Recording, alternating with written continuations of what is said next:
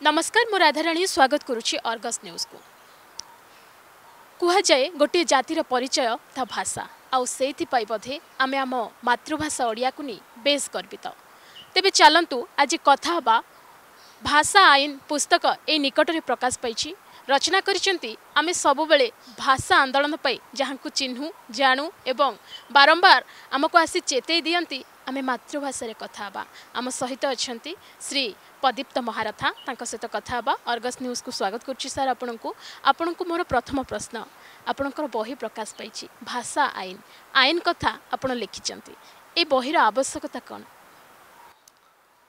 ବନ୍ଦେ ଉତ୍କଳ ଜନନୀ ଓଡ଼ିଆ ଭାଷା ଓଡ଼ିଶା ପ୍ରଦେଶ କଥା ଯେତେବେଳେ ଆମେ ଚିନ୍ତା କରୁଛେ ଆମର ପୂର୍ବଜମାନେ ଆମକୁ ଆମର ମାତୃଭୂମି ବା ମାତୃଭାଷା ଦେଇ ଯାଇଛନ୍ତି ତା'ର ସୁରକ୍ଷା ଆମର ଏକମାତ୍ର କର୍ତ୍ତବ୍ୟ। ସେ କର୍ତ୍ତବ୍ୟକୁ ସମ୍ପାଦନ କରିବା ପାଇଁ ଏବଂ ଚେତେଇ ଦେବା ପାଇଁ ଯେ ଓଡ଼ିଆ ଭାଷା କ'ଣ ଥିଲା ଓଡ଼ିଆ ଭାଷା କେଉଁଠି ଅଛି ଓଡ଼ିଆ ଭାଷାର ଆଇନ କ'ଣ କ'ଣ ଆମ ସାମ୍ବିଧାନ ବିଧି କହୁଛି ତାକୁ ନେଇ ଏଇ ବହିର ପରିକଳ୍ପନା କରାହେଇଛି ଯାହାକି ତାର ନାଁ ଦିଆହେଇଛି ଭାଷା ଆଇନ।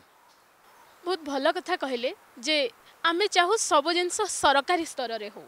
आपि सरकारी स्तर में भाषा को नहीं होता आईन को लोकों निकटने पहुँचापी चेस्टा करूँ आईन को जाना यथेष्ट कि भाषा व्यवहार पर निहाती जितेबले आम सामाजिक स्तर में समस्ते एकाठी गोटे जगह रोचे ये सामाजिक विधि सांधानिक विधि सांधानिक विधि अनुसार आम आम सरकार या सरकार गिरे दौचे जहाँ विधि अच्छी ସେ ବିଧି ଅନୁସାରେ ଆମକୁ ଚାଲିବାକୁ ପଡ଼ିବ। ଯଦି ଓଡ଼ିଆ ଭାଷାକୁ ନେଇ ବା ଓଡ଼ିଶା ପ୍ରଦେଶ ଗଠନ ହେଲା ଯାହା ଓଡ଼ିଆ ଭାଷାଭାଷୀ ଅଞ୍ଚଳକୁ ନେଇ ଓଡ଼ିଶା ପ୍ରଦେଶ ଗଠନ ହେଲା ଯାହାକି ଭାରତର ସ୍ୱାଧୀନତାର ବହୁ ବର୍ଷ ପୂର୍ବରୁ। ଉଣେଇଶହ ସତଚାଳିଶ ମସିହା ଯେତେବେଳେ ଆମେ ସ୍ୱାଧୀନତା ପାଇଲେ ତା ପୂର୍ବରୁ ଉଣେଇଶହ ଛତିଶ ମସିହାରେ ଓଡ଼ିଶା ପ୍ରଦେଶ ଗଠନ ହୋଇସାରିଥିଲା।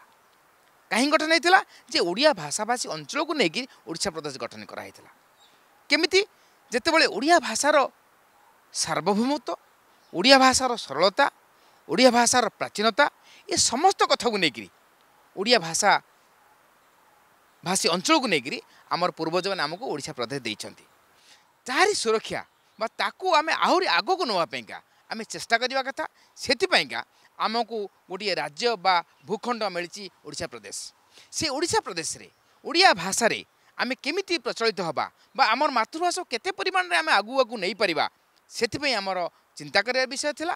ସେଥିପାଇଁକା ଆମର ଦୀର୍ଘ ଦିନର ଭାଷା ଆନ୍ଦୋଳନ ଏବେ ନୁହଁ ଉଣେଇଶହ ତେଇଶ ତିନି ମସିହାରେ ଭାଷା ଆନ୍ଦୋଳନ ଆରମ୍ଭ ହୋଇଛି ଯାହାକି ଆମେ ହୁଏତ କହିପାରିବା ଉଣେଇଶ ନଅ ଦୁଇ ହଜାର ଅଠର ମସିହାରେ ଆମକୁ ସମ୍ପୂର୍ଣ୍ଣ ଭାବେ ଭାଷା ଆଇନଟି ବିଧାନସଭାରେ ସମ୍ପୂର୍ଣ୍ଣ ଭାବେ ବିଧି ବିଧିବଦ୍ଧ ଭାବେ ସମ୍ପୂର୍ଣ୍ଣ ହେଲା ଏବଂ ତେର ଅଗଷ୍ଟ ଦୁଇ ହଜାର ଉଣେଇଶ ମସିହାରେ ଆମକୁ ସମ୍ପୂର୍ଣ୍ଣ ଭାବରେ ଆମର ବିଧି ଅନୁସାରେ ନିୟମାବଳୀଟି ପ୍ରକାଶିତ ହେଲା। ସେଇ କଥାକୁ ନେଇକରି ସେଇ ସମସ୍ତ ବାସ୍ତବ ଚିଠିକୁ ନେଇକରି ସେ ସମସ୍ତ ଦଣ୍ଡ ବିଧି ବିଧାନକୁ ନେଇକରି ଏ ଭାଷା ଆଇନ ବହିର ପରିକଳ୍ପନା କରାହେଇଛି। ଭାଷା ଆନ୍ଦୋଳନର ଆରମ୍ଭରୁ ଶେଷ। ଆଉ ବର୍ତ୍ତମାନ ଦେଖିବାକୁ ମିଳୁଛି ଯୁବପିଢ଼ି ପାଞ୍ଚ ଧାଡ଼ି ଓଡ଼ିଆ କହିଲା ବେଳକୁ ଧାଡ଼ିଏ ଇଂରାଜୀ କହିଲେ ଆତ୍ମସନ୍ତୋଷ ପାଉଛନ୍ତି। ସେଇମାନଙ୍କୁ ଭାଷା ଆଇନ ପୁସ୍ତକ ମାଧ୍ୟମରେ ଆପଣ କ'ଣ କହିବା ପାଇଁ ଚାହୁଁଛନ୍ତି? ମୁଁ ଆପଣଙ୍କୁ କହି ରଖେ ଏଇ ଓଡ଼ିଆ ଭାଷାର ସାବଲ୍ୟତା ଏତେ ଅଧିକା ବା ଏତେ ଶବ୍ଦ ଆ ଭିତରେ ଅଛି ଯେ ଅନ୍ୟ କୌଣସି ଭାଷାରେ ଏତିକି ଶବ୍ଦ ନାହିଁ। ଆମେ ଇଂରାଜୀରେ ଗୋଟିଏ ଶବ୍ଦ ଆମର ଯେମିତିକି କହୁଛେ ଆମେ ଅଙ୍କଲ କହିଲେ ଦାଦାକୁ ବୁଝେଇବ ଅଙ୍କଲ କହିଲେ ମାମୁଁକୁ ବୁଝେଇବ ଅଙ୍କଲ କହିଲେ ମଉସାକୁ ବୁଝେଇବ ଅଙ୍କଲ କହିଲେ ପିସାକୁ ବୁଝେଇବ। କିନ୍ତୁ ତାଙ୍କର ଗୋଟିଏ ଶବ୍ଦ ଆମର ଚାରୋଟି ଶବ୍ଦ ସାଙ୍ଗେ ସମାନ। ସେଇଭଳିଆ ଆହୁରି ବହୁ ଶବ୍ଦ ଏମିତି ଅଛି ଓଡ଼ିଆ ଭାଷାରେ। କିନ୍ତୁ ଆମେ ସବୁବେଳେ ଆମ ପୂର୍ବଜମାନେ ଯେଉଁ କଥାଟିକି ଦେଇ ଯାଇଛନ୍ତି ଆମ ଓଡ଼ିଶା ଦେଇ ବା ଓଡ଼ିଆ ଭାଷାକୁ ଦେଇ ଦେଇଛନ୍ତି ଆମେ ସବୁକୁ ସେତିକି ବେଳେ ଚିନ୍ତା କରିବା ଆମକୁ ସମୟ ଆସିଛି। ଯେତେବେଳେ ଓଡ଼ିଆ ଭାଷା ମରିଯାଉଥିଲା ଯେ ସମ୍ବଲପୁର ଅଞ୍ଚଳକୁ ଇଂରେଜ ସରକାର ଅନ୍ୟ ପ୍ରଦେଶରେ ମିଶାଇକିରି ଆମକୁ ଗୋଟେ ଗୋଲାମର କଥା କହିବାକୁ ଯାଉଥିଲା ସେହି ସମୟରେ ଜନ୍ ବିମ୍ସ ନାମକ ଇଂରେଜ ସରକାରଙ୍କ ଜଣେ ଅଫିସର ସେ ଓଡ଼ିଆ ଭାଷାରେ ଗୋଟେ ଗ୍ରାମାର ବହିଟି ଲେଖିଲେ ବା ବ୍ୟାକରଣ ବହିଟି ଲେଖିଲେ।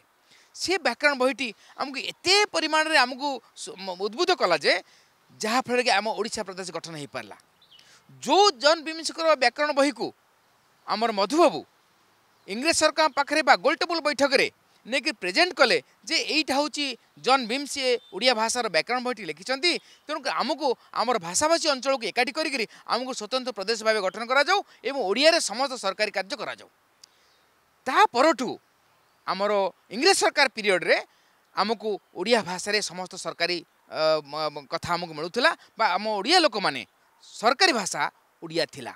କିନ୍ତୁ ପରବର୍ତ୍ତୀ ସମୟରେ ଆମେ ଯେତେବେଳେ ସ୍ୱାଧୀନତା ପାଇଲେ ତା ପରବର୍ତ୍ତୀ ସମୟରେ ଆମକୁ ଇଂରାଜୀରେ ଆମକୁ ଆମ ସହିତ ଶାସନ କରାଗଲା। କିନ୍ତୁ ପରବର୍ତ୍ତୀ ପର୍ଯ୍ୟାୟକ୍ରମେ ଏହାର ପରିବର୍ତ୍ତନ ମଧ୍ୟ ହେଇଛି। ଉଣେଇଶହ ଅଡ଼ଚାଳିଶ ମସିହାରେ ଲକ୍ଷ୍ମଣ ମିଶ୍ର ପ୍ରସ୍ତାବ ଆଣିଲେ ବିଧାନସଭାରେ। ଯେ ଓଡ଼ିଆ ଭାଷାରେ ସମସ୍ତ ନଥିପତ୍ର ଜୁନ୍ ଏକ ତାରିଖ ଉଣେଇଶହ ଅଡ଼ଚାଳିଶ ମସିହାରୁ ହେଉ। କିନ୍ତୁ ପରବର୍ତ୍ତୀ ସମୟରେ ବିଧାନସଭା ଆଲୋଚନା କ୍ଷେତ୍ରରେ କେତେକ ବିଧାୟକ କହିଲେ ନା ହେଇପାରିବ ନାହିଁ। ଆମକୁ କେବଳ ଓଡ଼ିଆ ଭାଷାଭାଷୀ ଅଞ୍ଚଳ ଅଞ୍ଚଳ ହେଲେ ବି ସୁଦ୍ଧା ସମସ୍ତେ ଓଡ଼ିଆ ଭାଷୀ ନୁହନ୍ତି ତେଣୁ ଏଠି ବିଭିନ୍ନ ଭାଷା ଚାଲିବାକୁ ପଡ଼ିବ। ବାଧ୍ୟ ହୋଇକି ସେ ସେଇଟାକୁ ଅପସାରଣ କରି ନେଇଥିଲେ କିନ୍ତୁ ପରବର୍ତ୍ତୀ ମୁହୂର୍ତ୍ତରେ ନବକୃଷ୍ଣ ଚୌଧୁରୀ ଯେତେବେଳେ ମୁଖ୍ୟମନ୍ତ୍ରୀ ହେଲେ ସେତେବେଳେ ସେ ପୁଣି ପୁଣି ଭାଷା ଆଇନ ଆଣିଲେ ଆଣିଲେ ଯାହା ଥିଲା ଭାଷା ଆଇନ ଉଣେଇଶହ ଚଉବନ ମସିହା ଉଣ- ଉଣେଇଶହ ଚଉବନ ତା ପରଠୁ ତାର ନିୟମାବଳୀ ହେଇପାରିନଥିଲା ବୋଲି ଓଡ଼ିଆ ଭାଷା ସମ୍ପୂର୍ଣ୍ଣ ଭାବେ ସରକାରୀ ସ୍ତରରେ ପ୍ରଚଳିତ ହେଇପାରୁନଥିଲା ଉଣେଇଶହ ଦୁଇ ହଜାର ଉଣେଇଶ ମସିହାରେ ବା ଦୁଇ ହଜାର ଅଠର ମସିହାରେ ଉଣେଇଶ ନଅ ଦୁଇ ହଜାର ଅଠର ମସିହାରେ ସମ୍ପୂର୍ଣ୍ଣ ଭାବେ ସେଟା ମ- ମ- ମ- ସଂଶୋଧିତ ହୋଇ ଉଣେଇଶହ ଦୁଇ ହଜାର ଅଠର ମସିହା ସଂଶୋଧିତ ହୋଇ ସମ୍ପୂର୍ଣ୍ଣ ଭାବେ ଓଡ଼ିଆ ଭାଷା ଆଇନଟି ହେଲା ଏବଂ ତା ପରବର୍ତ୍ତୀ ମୁହୂର୍ତ୍ତରେ ଓଡ଼ିଆ ଭାଷା ସରକାରୀ ଭାଷା ଭାବେ ପରିଗଣିତ ହେଲା। ଓଡ଼ିଆ ଭାଷା ସରକାରୀ ଭାଷା ଭାବେ ମାନ୍ୟତା ପାଇଲା। ସରକାର ମାନିନେଲେ। କିନ୍ତୁ ଏତିକି ଯଥେଷ୍ଟ ନା ସର୍ବସାଧାରଣରେ ଆମେ ସମସ୍ତେ ସଚେତନ ହେବା ଅଧିକ ଜରୁରୀ? ଆପଣ କେଉଁଠାକୁ ଅଧିକ ଗୁରୁତ୍ୱ ବୋଲି ମନେ କରୁଛନ୍ତି? ସରକାରୀ ସ୍ତରରେ ମାନ୍ୟତା ପାଇବା ପରେ ଭାଷା ଆପେ ଆପେ ବଞ୍ଚି ରହିବାର ବାଟଟିଏ ପାଇଲା ବୋଲି ଆପଣ ଅନୁଭବ କରୁଛନ୍ତି? ନା ଆମେ ସମସ୍ତେ ବ୍ୟକ୍ତିଗତ ସ୍ତରରେ ଅଧିକ ସଚେତନ ହେବାର ଆବଶ୍ୟକତା ରହିଛି? ନିଶ୍ଚିତ ଭାବେ ଆପଣ ଭଲ ପ୍ରଶ୍ନଟି ପଚାରିଲେ।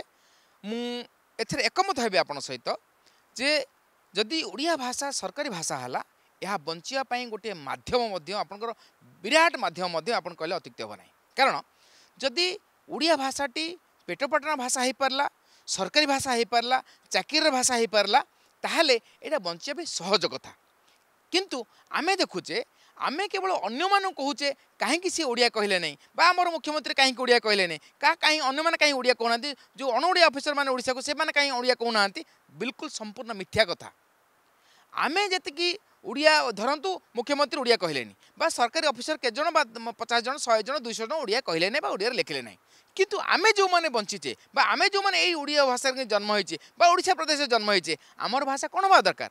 ଆମର ମାତୃଭାଷା କେଉଁଟା? ଆମ ମାତୃଭାଷା ଓଡ଼ିଆ ଆମେ କାହିଁକି ଲେଖିବା ନାହିଁ ଆମେ ନିଜକୁ ନିଜେ କାହିଁ ପ୍ରଶ୍ନ ପଚାରିବା ନିଜକୁ ନିଜେ କାହିଁ ସଚେତନ ହେବା ନାହିଁ ତେଣୁ ଏଥିରେ ଆମକୁ ସଚେତନ ହେବାର ଯଥେଷ୍ଟ ଅଧିକ ଆବଶ୍ୟକତା ଅଛି ଆମେ ନିଜେ ସଚେତନ ହେବା ଏବଂ ଅନ୍ୟମାନଙ୍କୁ ସଚେତନ କରେଇବା ଏଇଟା ହେଉଛି ମୁଖ୍ୟ କଥା ଦ୍ୱିତୀୟ କଥା ଯେତେବେଳେ ଅଣଓଡ଼ିଆ ଅଫିସରଙ୍କ କଥା ପଡ଼େ ସେତେବେଳେ ଅଣଓଡ଼ିଆ ଅଫିସରମାନେ ଯେତେବେଳେ ତାଙ୍କର ସରକାରୀ ବା ଆଇଏଏସ୍ ଅଫିସରମାନେ ସରକାରୀ ଟ୍ରେନିଂ ନେଇସାରିବା ପରେ ଏବଂ ତିନି ମାସିଆ ତାଙ୍କର ମଧ୍ୟ ଗୋଟେ ସରକାରୀ ଟ୍ରେନିଂ ଅଛି ଯେ ଯେଉଁ ଯେଉଁ ପ୍ରଦେଶକୁ ସେମାନେ ଆଲର୍ଟ ହେବେ ବା ଯେଉଁ ପ୍ରଦେଶକୁ ଯିବେ ସେଇ ପ୍ରଦେଶର ଭାଷା ତିନି ମାସ ସେମାନେ ଟ୍ରେନିଂ ନେବେ ତିନି ମାସ ଟ୍ରେନିଂ ନେଇସାରିଲା ପରେ ସେଇ ରାଜ୍ୟରେ ସେ ଆପଏଣ୍ଟମେଣ୍ଟ ହେବେ ମାତ୍ର ଏତିକି କଥା ସେମାନେ ଓଡ଼ିଆ ଜାଣନ୍ତି ଓଡ଼ିଆ କରିପାରିବେ କିଛି ଅସୁବିଧା ନାହିଁ କିନ୍ତୁ ମାନସିକତା ହେଉଛି ଆମର ଆବଶ୍ୟକତା ଅଛି ପ୍ରଥମେ ଆମେ ନିଜେ ସଚେତନ ହେବା ଯେ ଆମେ ଓଡ଼ିଆମାନେ ଯେଉଁମାନେ ଆମର ମାତୃଭାଷା ଓଡ଼ିଆ ସେମାନେ ସଚେତନ ହେବେ ଯେ ନା ମୁଁ ମୋ ଫାଇଲ୍ଟିକୁ ବା ମୋର ନଥିଟିକୁ ମୁଁ ଓଡ଼ିଆରେ ଲେଖିବି ଉପର ଅଫିସର ମନା କରିପାରିବ ନାହିଁ ସେଥିପାଇଁକା ଯେ ଆମେ ଯେଉଁ ଆନ୍ଦୋଳନ ଚାଲିଥିଲା ଯେ ଓଡ଼ିଆ ଭାଷାରେ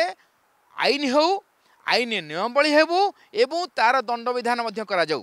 ସେ ଦଣ୍ଡବିଧାନ ବିଧି ବ୍ୟବସ୍ଥା ଯଦି ନ ହେବ ତାହେଲେ ଏମାନେ ମାନିବେ ନାହିଁ। କିନ୍ତୁ ଏଠି ପ୍ରଶ୍ନ ଆସୁଛି ଯେ ମୋତେ ମାତୃଭାଷା କହିବା ପାଇଁ ବା ମାଆକୁ ମା ବୋଲି ଡାକିବା ପାଇଁ କ'ଣ ଦଣ୍ଡର ଆବଶ୍ୟକତା ଅଛି? ମୋତେ ଅନ୍ୟମାନେ ଆସିକି ବାହାର ଲୋକ କହିବେ ତୋତେ ମୁଁ ପ- ପିଟିବି ଯଦି ତୁ ମାଆକୁ ମା ନ ଡାକିବୁ ଯଦି ଓଡ଼ିଆରେ ନ ଡାକିବୁ।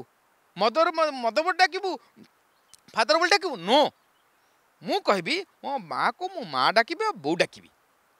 ଏହି ପ୍ରସଙ୍ଗରେ ଆମକୁ ନିହାତି ଭାବେ ଆପଣ ଯାହା କହିଲେ ସଚେତନ ହେବାର ଅଛି ଏବଂ ଅନ୍ୟମାନଙ୍କୁ ସଚେତନ କରାଇ ଦେବାର ଅଛି।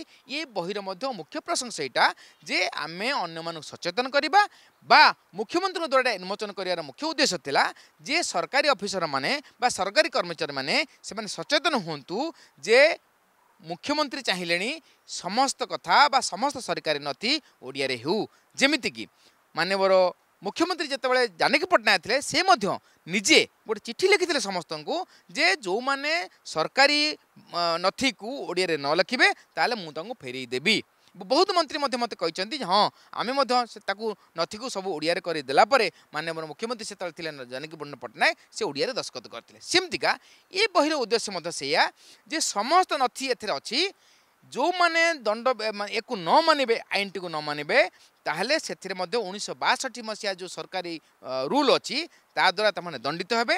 କ'ଣ ଦଣ୍ଡିତ ହେବେ? ସେମାନଙ୍କୁ ଫାଇନ୍ କରାହେବ ସସ୍ପେଣ୍ଡ କରାହେବ ଡିସମିସ୍ କରାହେବ ଚାକିରିରୁ ବହିଷ୍କାର କରାଯିବ ଏବଂ ସେମାନଙ୍କୁ ଆଉ କେବଳ ଫାଶୀ ଦଣ୍ଡ ଛାଡ଼ିଦେବା ବ୍ୟତୀତ ଅନ୍ୟ ସବୁ ଦଣ୍ଡ ସେଥିରେ ପ୍ରାବଧାନ ଅଛି ଯଦି ସମେ ତମେ ତମ ମାତୃଭାଷାରେ ମ, ନଥିଟିକୁ ନ କରିବ। ତେଣୁକରି ସେଇ ପ୍ରସଙ୍ଗରେ ଆମେ ଆପଣ ଯାହା କହୁଥିଲେ ପ୍ରଥମରୁ ଏଇଟାକୁ ଆମ ସଚେତନତା ପାଇଁକା ଏଇ ବହିର ପରିକଳ୍ପନା କରାହେଇଛି। ଏ ବହିଟିକୁ ସମସ୍ତେ ଜାଣିବା ଦରକାର ଏବଂ ଏଥିରେ ସମସ୍ତ କଥା ବିଧି ଅଛି। ଯାହା ଯାହା ଉଣେଇଶହ ଚଉବନ ମସିହାରୁ ଯାହା ଯାହା ଆଇନ ହେବା ପରେ ଯାହା ଯାହା ଦଣ୍ଡବିଧାନ ବ୍ୟବସ୍ଥା ହେବା କଥା କେମିତି ଆଇନ ହେବ କେଉଁ ଜାଗାରେ ଓଡ଼ିଆରେ ବ୍ୟବହାର କରାଯିବ ସରକାର ସେଥିରେ କ'ଣ କ'ଣ ବ୍ୟବହାର କରାଯିବ ସମସ୍ତ କଥା ଏ ବହିରେ ଅଛି। ଭଲ କଥାଟେ କହିଲେ କିନ୍ତୁ ପ୍ରଶ୍ନ ଆସୁଛି ବର୍ତ୍ତମାନ ଓଡ଼ିଶା ପ୍ରଶାସନିକ ସେବା ପରୀକ୍ଷାର ପ୍ରସ୍ତାବ ଆସିଛି ଆଉ ସେଇଥିରେ ପିଲା ଏ ବର୍ଷ ଓଡ଼ିଆ ନିଜ ମାତୃଭାଷାରେ ଉତ୍ତର ଲେଖିବାର ସୁଯୋଗ ପାଇଛନ୍ତି। ସିଏ ଯେଉଁ ବି ବିଷୟ ରଖନ୍ତୁ ନା କାହିଁକି ସେ ଓଡ଼ିଆରେ ଲେଖିପାରିବେ କିନ୍ତୁ ପ୍ରଶ୍ନ ଆସିବ ଇଂରାଜୀରେ। ଏ ବିଷୟକୁ ଆପଣ କେମିତି ଦେଖୁଛନ୍ତି? ନାଇଁ ନିହାତି କଥା ଏଇଟା ଗୋଟେ ବା, ନିଶ୍ଚିତ ଭାବରେ ଆମେ ଭାବିବା ଆମେ ତାକୁ ମାନେ ପଜିଟିଭଲି ନେବା।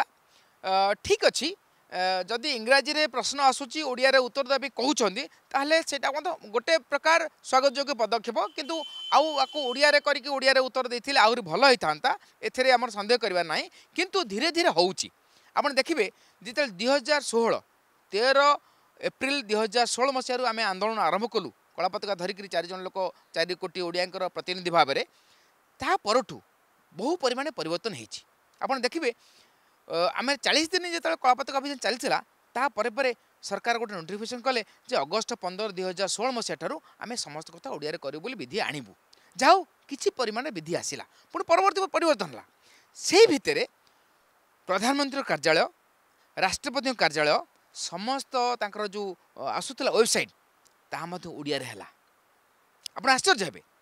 ଏ ଦୁଇ ବର୍ଷ ହେଲା ଆମର ସୁପ୍ରିମକୋର୍ଟରେ ସୁପ୍ରିମକୋର୍ଟର ଯେଉଁ ଭର୍ଡିକ୍ଟ ଆସୁଛି ତାହା ମଧ୍ୟ ଓଡ଼ିଆରେ ଆସୁଛି।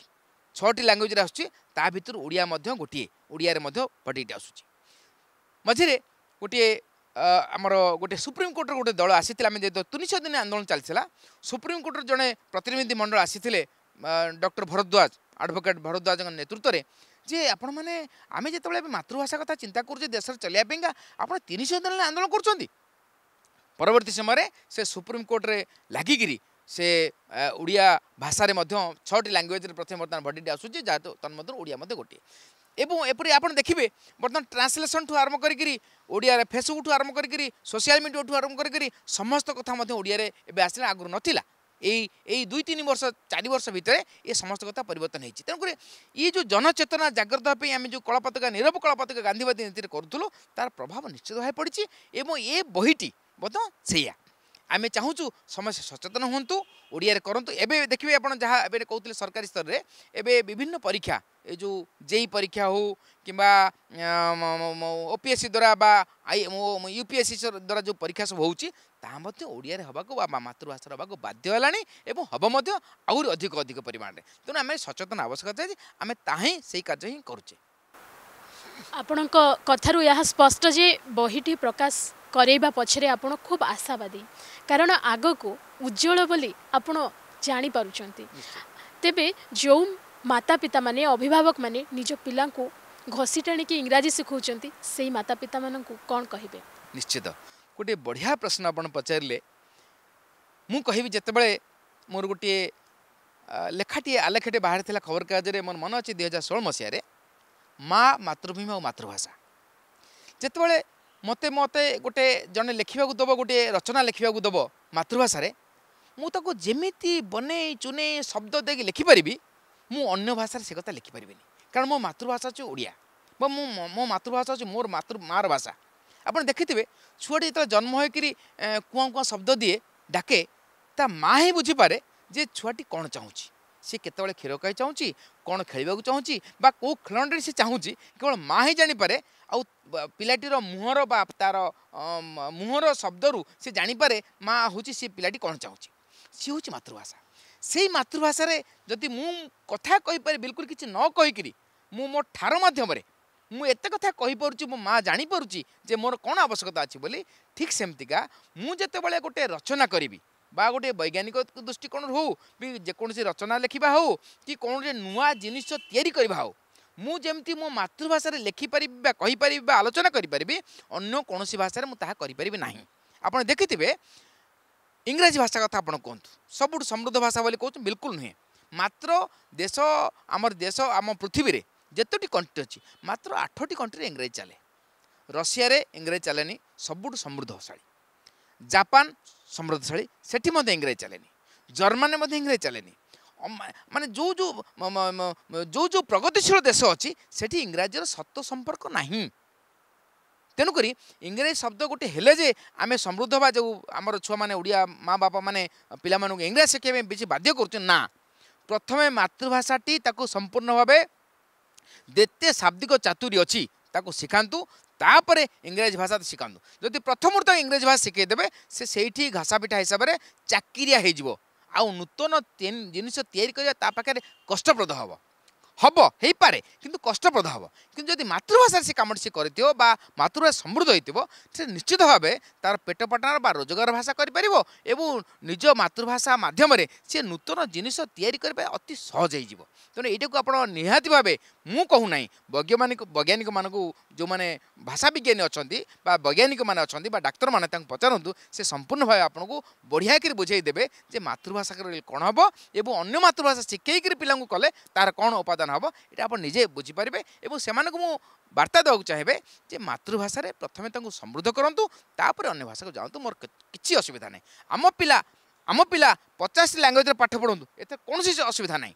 କିନ୍ତୁ ପ୍ରଥମେ ମାତୃଭାଷାକୁ ସମ୍ପୂର୍ଣ୍ଣ ଭାବେ ଆହରଣ କଲା ପରେ ଅନ୍ୟ ଭାଷା ଶିଖାନ୍ତୁ। ଚମତ୍କାର କଥାଟେ କହିଲେ ଶିଖିବାରେ ଅସୁବିଧା ନାହିଁ କିନ୍ତୁ ନିଜକୁ ଭୁଲିବାନି। ଆଜିର ଆଲୋଚନାକୁ ଆମେ ଏଇଠି ରଖୁଛୁ। ପୁଣି ଦେଖା ହେବ ନୂଆ ଅତିଥିଙ୍କ ସହିତ। ଧନ୍ୟବାଦ।